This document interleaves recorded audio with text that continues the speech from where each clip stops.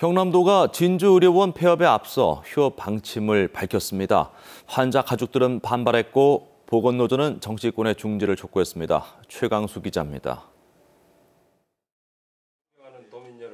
경남도가 진주의료원에 대한 휴업 방침을 전격 발표했습니다. 경남도는 오는 30일까지를 휴업 예고 기간으로 설정했으며 이후 적당한 시점에 휴업에 들어간다는 방침입니다. 13일간의 휴업 예고 기간을 통해 입원 환자들이 마산 의료원이나 다른 병원으로 옮길 수 있도록 돕겠다고 밝혔습니다.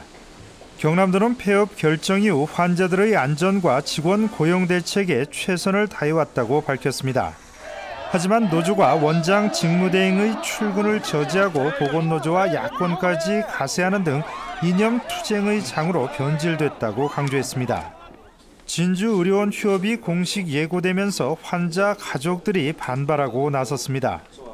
아직 120여 명의 환자가 남아있다며 휴업 방침 철회를 촉구했습니다.